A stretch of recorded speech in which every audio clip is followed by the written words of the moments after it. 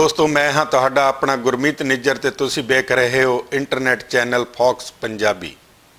ਅੱਜ ਅਸੀਂ ਤੁਹਾਡੇ ਨਾਲ ਗੱਲਬਾਤ ਕਰਨ ਜਾ ਰਹੇ ਹਾਂ ਫਿਲਮੀ ਅਦਾਕਾਰ ਤੇ ਪ੍ਰਸਿੱਧ ਗਾਇਕ ਬੱਬੂ ਮਾਨ ਦੀ, ਜਿਨ੍ਹਾਂ ਦੀ ਕਰੀਬ 4 ਅਰਸੇ ਦੇ ਬਾਅਦ ਫਿਲਮ ਬੰਜਾਰਾ ਦੀ ਟਰੱਕ ਡਰਾਈਵਰ 7 ਦਸੰਬਰ ਤੋਂ ਸਿਨੇਮਾ ਘਰਾਂ ਦੇ ਵੱਡੇ ਪਰਦੇ ਤੇ ਵਿਖਾਈ ਜਾਣੀ ਹੈ। ਇਸ ਫਿਲਮ ਦੀ ਪ੍ਰਮੋਸ਼ਨ ਲਈ ਖੁਦ ਬੱਬੂ ਮਾਨ ਤੋਂ ਇਲਾਵਾ ਫਿਲਮ ਦੇ ਸਾਥੀ ਅਦਾਕਾਰ, ਡਾਇਰੈਕਟਰ ਪ੍ਰੋਡਿਊਸਰ ਵੀ ਅੱਜ ਲੁਧਿਆਣਾ ਵਿਖੇ ਪੁੱਜੇ।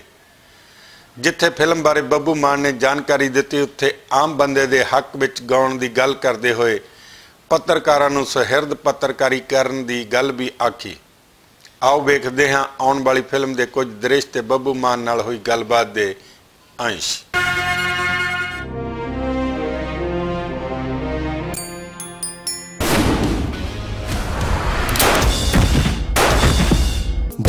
ਡਰਾਈਵਰੀ ਦਾ ਸ਼ੌਕ ਸੀਗਾ ਵਾਲਾ ਜੇ ਮੇਰੀ ਜ਼ਿੰਦਗੀ 'ਚ ਕੋਈ ਮੁੰਡਾ ਨਾ ਹੁੰਦਾ ਤਾਂ ਮੇਰੇ ਲਈ ਤੇਰੇ ਤੋਂ ਚੰਗਾ ਮੁੰਡਾ ਕੋਈ ਨਹੀਂ ਸੀ। ਬਣਜਾਰੇ ਦਾ ਮਤਲਬ ਤੁਸੀਂ ਦੱਸੋ ਕੀ ਹੁੰਦਾ? ਮੈਂ ਤਾਂ ਦੱਸ ਹੀ ਦੇਣਾ ਪਹਿਲਾਂ ਚਲੋ। ਪਹਿਲਾਂ ਤੁਸੀਂ ਦੱਸੋ ਨਾ ਪਹਿਲਾਂ ਅਸੀਂ। ਪਹਿਲਾਂ ਕੈਮਰਾ ਫੇਰ ਚੱਲ ਰਿਹਾ ਬਣਜਾਰਾ ਟਰੈਵਲਰ ਨੂੰ ਕਹਿ ਦਿੰਦੇ ਆ ਜਿਹੜਾ ਕਦੇ ਇੱਥੇ ਕਦੇ ਉੱਥੇ। ਸੋ ਡਰਾਈਵਰ ਕਿਉਂਕਿ ਜਿਪਸੀ ਕਹਿੰਦੇ ਜਿਹੜੇ ਡਰਾਈਵਰਸ ਹੁੰਦੇ ਆ ਅਸਲ ਚ ਉਹ- ਉਹਨਾਂ ਦੀ ਜ਼ਿੰਦਗੀ ਇਦਾਂ ਦੀ ਕਦੇ ਉੱਥੇ ਕਦੇ ਅਹ ਇਸੇ ਕਰਕੇ ਇਹ ਨਾਂ ਅਸਲ ਚ ਧੀਰਜ ਨੇ ਰੱਖਿਆ। ਧੀਰਜ ਰਤਨ ਜੀ ਨੇ ਫਿਲਮ ਲਿਖੀ ਹੈ ਨਾ। ਮੈਂ ਇਹਦਾ ਟਾਈਟਲ ਕੁਝ ਹੋਰ ਸੋਚਦਾ ਸੀ ਪੋਲੀਟੀਕਲ ਜਿੱਦਾਂ ਗਾਣਿਆਂ ਦੇ ਮੁਤਾਬਕ ਜਿੱਦਾਂ ਹਸ਼ਰ ਸੀ ਇਦਾਂ ਬਟ ਉਹਦਾ ਸ਼ੌਕ ਸੀ ਕਿ ਮੈਂ ਬਣਜਾਰਾ ਹੀ ਰੱਖ- ਭਾਜੀ ਮੈਂ ਕਹੂੰ ਇਹ ਟਰੱਕ ਡਰਾਈਵਰ ਦੀ ਕਹਾਣੀ ਹੈ ਪੂਰੀ ਕਿਤੇ ਨਾ ਕਿਤੇ।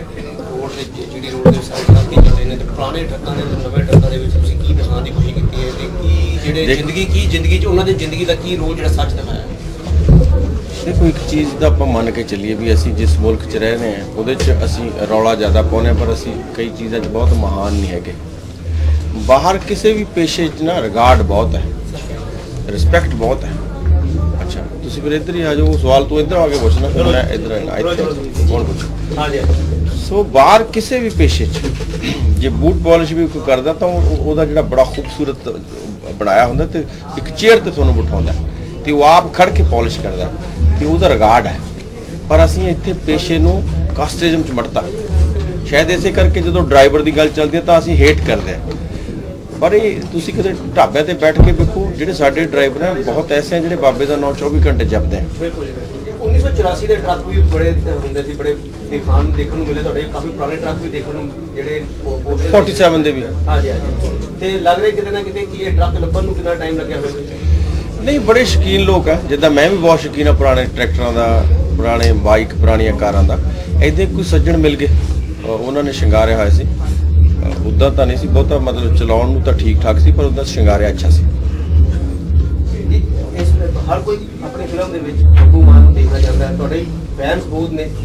ਉਹਨਾਂ ਦੇ ਵਾਸਤੇ ਤੁਸੀਂ ਕੀ ਨਵਾਂ ਜਿਹੜਾ ਇਸ ਫਿਲਮ ਵਿੱਚ ਲੈ ਕੇ ਆਏ? ਸਾਰਾ ਕੁਝ ਹੀ ਨਾਮ ਇਹਦੇ 'ਚ ਇਸ ਫਿਲਮ ਦੀ ਓਵਰਆਲ ਪਟ ਕਥਾ ਜਿਹਨੂੰ ਆਪਾਂ ਕਹਿੰਦੇ ਆ ਨਾ, ਸਾਰਾ ਕੁਝ ਹੀ ਅਲੱਗ ਹੈ। ਇਹਦਾ ਇਹਦਾ ਸਕਰੀਨ ਪਲੇ ਸਿੱਧਾ ਨਹੀਂ ਹੈਗਾ। ਇਹਦਾ ਸਕਰੀਨ ਪਲੇ ਆਡਾ ਅੱਡ ਹੈ। ਤੁਸੀਂ ਇੱਕ ਸੜਕ ਤੇ ਜਾ ਰਹੇ ਹੋ, ਤੁਸੀਂ ਖੱਬੇ ਵੀ ਦੇਖ ਰਹੇ ਹੋ, ਸੱਜੇ ਵੀ ਦੇਖ ਰਹੇ ਹੋ। ਉਹ ਜਿਹੜੇ ਮੰਜ਼ਰ ਨਾਲ ਨਾਲ ਕੈਚ ਕਰਦੇ ਜਾਂਦੇ ਹੋ, ਉਹ ਇਹ ਕਹਾਣੀ ਹੈ। ਮੈਂ ਜਾ ਰਿਹਾ ਸਫ਼ਰ ਤੇ। ਪਰ ਮੇਰੇ ਸਫ਼ਰ 'ਚ ਬਰਾਂਚਾ ਹੈ ਇੱਧਰ ਮੈਂ ਕਦੇ ਇੱਧਰ ਵੇਖਦਾ 5 ਮਿੰਟ ਬਾਅਦ ਮੈਂ ਇਦਾਂ ਰਿਵਰਸ ਬਹੁਤ ਹੈ। ਸਾਲ ਪਾਸ਼ਾ ਜੀ ਨਾਲ ਕੰਮ ਕਰਨ ਦਾ ਮੌਕਾ ਮਿਲਿਆ ਸੀ ਨਹੀਂ ਪਾਸ਼ੇ ਨੂੰ ਮਿਲਿਆ ਮੇਰੇ ਨਾਲ ਮਿਲਣ ਦੋਨਾਂ ਦਾ ਇੱਕ ਜਣਾ ਮਿਲ ਗਿਆ।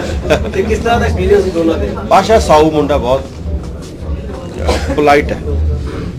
ਪਾਸ਼ਾ ਜਿਹੜਾ ਸਬਜੈਕਟ ਜਿਹੜਾ ਮੈਨੂੰ ਸੁਣਾਉਂਦਾ ਰਿਹਾ ਕਈ ਇਦਾਂ ਦੇ ਉਹ ਉਹ ਥੋੜੇ ਜਿਹੇ ਜਿੱਦਾਂ ਐਕਸ਼ਨ ਟਾਈਪ ਸੁਣਾਉਂਦਾ ਰਿਹਾ ਹਮੇਸ਼ਾ।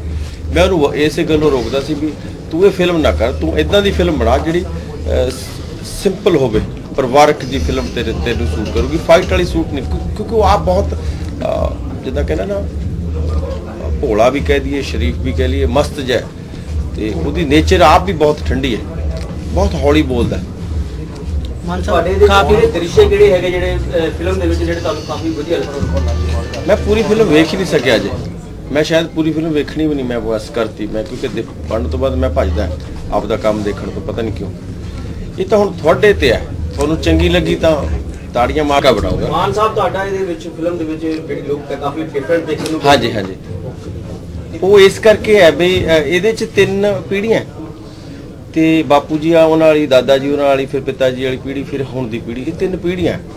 ਤਾਂ ਉਹਨਾਂ ਨੂੰ ਥੋੜਾ ਜਿਹਾ ਅਲੱਗ ਦ੍ਰਿਸ਼ਟੀ ਦੇਣ ਲਈ ਫਿਰ ਉਹਨਾਂ ਦਾ ਗੈਟਅਪ ਵੀ ਅਲੱਗ ਹੋਊਗਾ। ਤਾਂ ਹੀ ਫਿਰ ਫਿਲਮ ਅਲੱਗ ਲੱਗੂਗੀ ਨਾ। ਮਤਲਬ ਸ਼ਰਦਾ ਦੇ ਜੀ ਨੂੰ ਚੁਣਿਆ ਤੁਸੀਂ। ਸ਼ਰਦਾ ਜੀ ਇਸ ਫਿਲਮ 'ਚ ਹੈਗੇ ਨੇ। ਅਰੇ ਕਮਾਲ ਅਦਾਕਾਰਾ ਸ਼ਰਦਾ ਕਮਾਲ ਕਰਦੀ ਹੈ। ਵਨ ਟੇਕ ਓਕੇ ਬਾਲੀਵੁੱਡ ਦੀ ਲੱਗ ਮਾਰ ਚੁੱਕੀ ਹੈ। ਦੇਖੋ ਇਹ ਸਾਡੀ ਪ੍ਰਾਪਤੀ ਕੀ ਹੈ? ਸਾਡੀ ਪੰਜਾਬੀ ਸਿਨੇਮਾ ਹੁਣ ਜਦੋਂ ਅਸੀਂ ਪਹਿਲਾਂ ਹਸ਼ਰ ਵੇਲੇ ਜਾਂ ਏਕਮ ਵੇਲੇ ਸਾਨੂੰ ਇੰਨੇ ਸਿਨੇਮੇ ਉਦੋਂ 30 25 28 35 ਇਦਾਂ ਮਿਲਦੇ ਸੀ। ਹੁਣ ਤਾਂ 250 200 ਇਦਾਂ ਚੱਲ ਜਾਂਦਾ। ਸ਼ਾਇਦ ਸਕਰੀਨਾਂ ਤਾਂ ਇਦੋਂ ਵੀ ਵੱਧ ਹੋਣਗੇ 800 1000 ਹਨਾ? ਤੇ ਇਹ ਸ਼ਾਇਦ ਇਸੇ ਕਰਕੇ ਹੈ, ਜਿਹੜੇ ਸਾਡੇ ਬਾਲੀਵੁੱਡ ਵਾਲੇ ਅਦਾਕਾਰ ਹੈ ਉਹ ਪੰਜਾਬੀ ਫਿਲਮਾਂ 'ਚ ਆ- ਆਉਣਾ ਚਾਹੁੰਦੇ ਆ ਕਿਉਂਕਿ ਹੁਣ ਸਾਡੀ ਜਿਹੜੀ ਦਿੱਖ ਉਹ ਵੱਡੀ ਹੁੰਦੀ ਜਾਂਦੀ ਹੈ। ਓਵਰਸੀਜ਼ ਮਾਰਕੀਟ ਵੀ ਸਾਡੀ ਬਹੁਤ ਵੱਧ ਰਹੀ ਹੈ।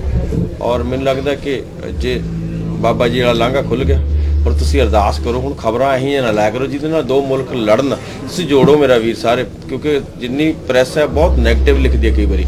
ਇਹ ਲਾਂਘਾ ਖੁੱਲ ਗਿਆ ਹੁਣ ਬਾਕੀ ਰਾਹ ਵੀ ਖਿਲਾ ਲਓ। ਤੇ ਦੇਖੋ 12 ਕਰੋੜ ਪੰਜਾਬੀ ਹੈ।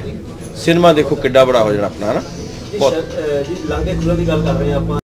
ਇਸ ਸਮੇਂ ਦੇਖੋ ਮੇਰੀ ਇੱਕ ਜਿਹੜੀ ਛੋਟੀ ਜਿਹੀ ਬੇਨਤੀ ਹੈ। ਸਿਆਸੀ ਨਹੀਂ ਤੁਹਾਡੇ ਤੁਸੀਂ ਵਾਲੇ ਗੱਲ ਦਾ ਵਾਲੇ ਮੈਂ ਦੇਖੋ ਦੇਖੋ ਤੁਸੀਂ ਆਪਾਂ ਸਾਰੇ ਵੈਸੇ ਤਾਂ ਗੁਰ ਭਾਈ ਆ ਤੁਸੀਂ ਵੀ ਮੱਥਾ ਟੇਕਦੇ ਹੋ ਇਹ ਵੀ ਭੈਣ ਵੀ ਟੇਕਦੀ ਆਪਾਂ। ਆਪਾਂ ਨੂੰ ਇਹੀ ਖੁਸ਼ੀ ਹੈ ਕਿ ਜਿਨ੍ਹਾਂ ਚੀਜ਼ਾਂ ਦੀ ਅਸੀਂ ਕਾਮਨਾ ਕਰਦੇ ਹਾਂ ਹੌਲੀ ਹੌਲੀ ਖੁੱਲ ਰਹੀਆਂ।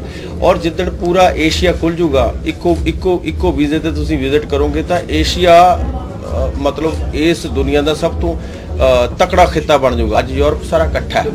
ਤੋੜਾਂਗੇ ਤਾਂ ਟੁੱਟ ਜਾਓਗੇ। ਕੱਲੇ ਕੱਲੇ ਨਾਰੇ ਲਾਓਗੇ ਤਾਂ ਲੜੋਗੇ। ਇਕੱਠੇ ਹੋ ਕੇ ਇੱਕ ਲਾਓਗੇ ਤਾਂ ਇਕੱਠੇ ਹੋ ਜਾਓਗੇ। ਸ਼ਰੀਕ ਨਹੀਂ ਜਾਂਦਾ ਜੀ ਤੁਹਾਨੂੰ ਤੁਹਾਡੇ ਹਿਸਾਬ ਨਾਲ ਜੀ ਜੀ ਮੈਂ ਇਹ ਚੱਕਰ 'ਚ ਨਹੀਂ ਪੈ ਸਕਦਾ ਕਿਉਂਕਿ ਇਹ ਸਿਆਸੀ ਬਿਆਨਬਾਜ਼ੀ ਹੈ ਬਾਬੇ ਨਾਨਕ ਦਾ ਸ਼ਰੀਕ ਜਾਂਦਾ ਜੀ। ਬਾਬਾ ਉਹ ਕਮਲਿਆ ਜਿਹਦੇ ਦਰ ਤੇ ਮੱਥਾ ਟੇਕਣ ਨੂੰ ਦੁਨੀਆ ਤਰਸਦੀ ਹੈ ਬਾਬੇ ਦੇ ਉਹ ਇਹ ਉਹਦੀ ਕਿਰਪਾ ਬਾਬੇ ਦੀ। ਇੱਕ ਜੀ ਇੱਕ ਜੀ ਲਾਸਟ ਸਵਾਲ ਹੈਗਾ ਅਨੇ ਕੱਟ ਕੇ ਨਾ ਲਾਈ ਮੇਰੀ ਖਬਰ ਮੈਂ ਰੌਲਾ ਪਾ ਲੂ ਤੇਰੇ ਨਾਲ ਫਿਰ ਬਾਅਦ ਚ। ਕਿਉਂਕਿ ਤੁਹਾਨੂੰ ਆਦਤ ਪੈ ਗਈ ਇੱਥੋਂ ਵੱਢਤੀ ਡੋਂਟ ਡੂ ਦੈਟ ਹਨਾ? ਤੁਸੀਂ ਸੁਹਿਰਦ ਪੱਤਰਕਾਰੀ ਕਰੋ।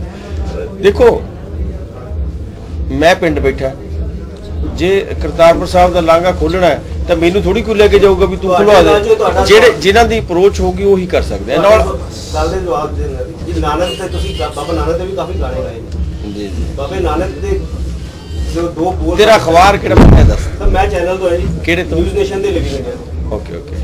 ਤੇਰੀ ਬਣਦੀ ਹੈ ਬਾਕੀਆਂ ਨਾਲ? ਮਤਲਬ ਕਾਂਗਰਸ ਦੀ ਐ ਤੇ ਕਿ ਤੂੰ ਸਾਰੇ ਨਾਲ ਬੰਦੀ ਹੈ ਫਿਰ ਸੈੱਟ ਹੈ ਤੇਰਾ। ਮੈਂ ਕਿਹਾ ਜੇ ਕਿਸੇ ਇੱਕ ਪੱਖ ਦਾ ਫਿਰ ਤੇਰਾ ਰੌਲਾ ਪੈ ਜਾਏ। ਸਾਡਾ ਸਾਡੇ ਸਾਰੇ ਸਾਰੇ ਪਾਰਟੀਆਂ ਨਾਲ ਬਣਦੀ ਉਹ ਜਿਹੜਾ ਜਿੱਤੇਗਾ ਉਹਦੇ ਨਾਲ ਬਣਦੀ ਤੁਹਾਡੀ। ਤੁਸੀਂ ਵੀ ਅਕਾਲੀਆਂ ਦੇ ਦੌਰਾਨ ਕਾਫੀ ਗਾਣੇ ਗਾਉਂਦੇ ਰਹੇ ਸੀ ਜੀ। ਮੈਂ ਤਾਂ ਮੈਂ ਤਾਂ ਦੇਖੋ ਮੈਂ ਗਾਇਕ ਹਾਂ। ਮੈਂ ਮਾਸ ਦਾ ਕਲਾਕਾਰ ਹਾਂ। ਮੇਰੀ ਆਈਡੀਓਲੋਜੀ ਗਰੀਬ ਲੋਕਾਂ ਲਈ ਹੈ। ਮੈਂ ਕਿਸਾਨਾਂ ਦੇ ਹੱਕ 'ਚ ਹਮੇਸ਼ਾ ਗਾਉਂਗਾ ਮੈਂ ਮਜ਼ਦੂਰਾਂ ਦੇ ਹੱਕ 'ਚ ਵੀ ਗਾਉਂਗਾ ਸਿਸਟਮ ਦੇ ਖਿਲਾਫ ਗਾਉਂਗਾ ਮੈਂ। ਉਹ ਇਸ ਕਰਕੇ ਗਾ ਦਿੰਦਾ ਕਿਉਂਕਿ ਮੈਨੂੰ ਹਮਦਰਦੀ ਹੈ ਮੈਂ ਪਿੰਡਾਂ ਦਾ। ਤੋਂ ਮੈਂ ਆਮ ਬੰਦੇ ਦੇ ਹੱਕ ਲਈ ਗਾਉਣਾ ਤੋਂ ਇਸ ਕਰਕੇ ਮੈਨੂੰ ਮੈਂ ਸਾਰੇ ਚੰਗੇ ਆ। ਔਰ ਜਿਹੜੇ ਤੁਸੀਂ ਨੁਮਾਇੰਦੇ ਜਦੋਂ ਚੁਣ ਲੈਂਦੇ ਹੋ ਫਿਰ ਉਹ ਤੁਹਾਡੇ ਹੋ ਜਾਂਦੇ ਯਾਨੀ ਇੱਕ ਬਾਬਾ ਜੀ ਲਾਸਟ ਤੁਸੀਂ ਗੁੱਡੀ ਨੂੰ ਵੀ ਪੁੱਛੋ ਕੁਛ ਤੁਹਾਡਾ ਲਾਸਟ ਕੁਐਸਚਨ ਹੈ ਤੁਹਾਡੇ ਵਾਸਤੇ ਲਾਸਟ ਕੁਐਸਚਨ ਹੈ ਇਹਦੇ ਪ੍ਰੋਡਿਊਸਰ ਸਾਡੇ ਲਾਲ ਬੱਤੀ ਦਾ ਗਾਣਾ ਗਾਇਆ ਸੀ। ਹਾਂ ਫਿਰ ਹਾਂ। ਜਦੋਂ ਬਾਬਾ ਜੀ ਦੀ ਮਿਹਰ ਹੋਗੀ ਫਿਰ ਗਾ ਲੁਧਿਆਣਾ ਤੋਂ ਗੁਰਮੀਤ ਨਿੱਜਰ ਦੀ ਰਿਪੋਰਟ। ਕੈਮਰਾਮੈਨ ਸੋਨੂ ਭੰਡਾਰੀ ਦੇ ਨਾਲ fox.punjabi your city your news.